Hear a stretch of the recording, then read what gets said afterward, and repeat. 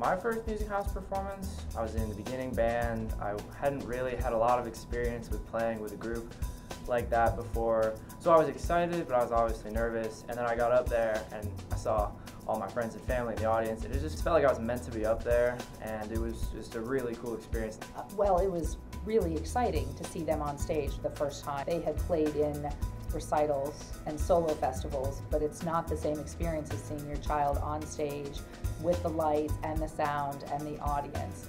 It was really exciting.